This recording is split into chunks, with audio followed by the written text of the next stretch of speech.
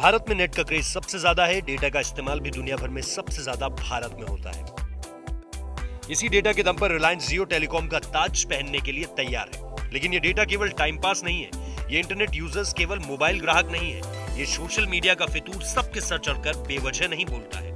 ये सब मिलकर हज़ारों करोड़ के उद्योग में तब्दील होने का दम भर रहे हैं। देश में इन बढ़ते इंटरनेट यूज़र्स के चलते देश की डिजिटल मीडिया इंडस्ट्री तेज़ी से बढ़ रही है। फिकी ईवाई की रिपोर्ट के मुताबिक उम्मीद है कि 2019 में डिजिटल मीडिया एंटरटेनमेंट इंडस्ट्री को पीछे कर देगा।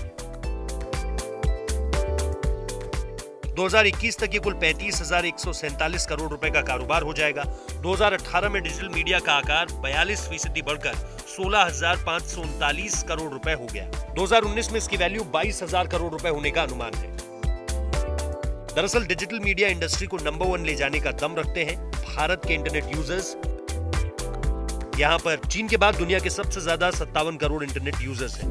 भारत में इंटरनेट यूज़र्स सालाना तेरह फ़ीसदी की दर से बढ़ रहे हैं। रिपोर्ट के मुताबिक भारतीय यूज़र्स अपने तीस फ़ीसदी फ़ोन टाइम को एंटरटेनमेंट पर खर्च करते हैं। इस रिपोर्ट में डिजिटल दुनिया की भविष्य की तस्वीर का भी विस्तार से ज़िक्र किया गया है। रिपोर्ट के मुताबिक 2021 तक देश में ओटीटी यानी over the top video content के लिए भुगतान करने वाले तीन से तीन दशमलव पाँच करोड़ सब्सक्राइबर्स होंगे, जबकि 60 से 70 लाख ऐसे ग्राहक होंगे जो ऑडियो कंटेंट के लिए भुगतान करेंगे।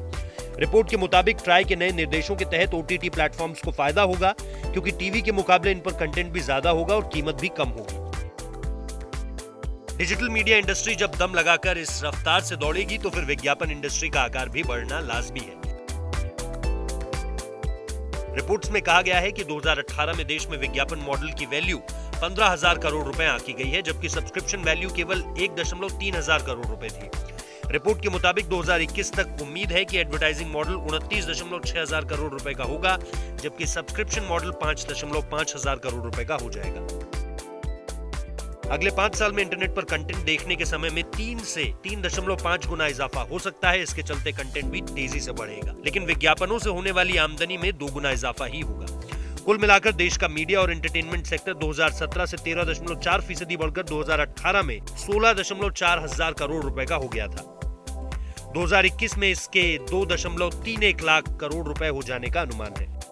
अगले तीन साल में ऑनलाइन गेमिंग और डिजिटल मीडिया इस ग्रोथ को और रफ्तार देंगे। हालाँकि रेवेन्यू बनाने के मामले में टीवी सबसे बड़ा सेगमेंट बना रहेगा, यानी रोज़गार और देश की जीडीपी में जोश भरने के लिए डिजिटल इंडस्ट्री का तेज़ी से विस्तार हो रहा है।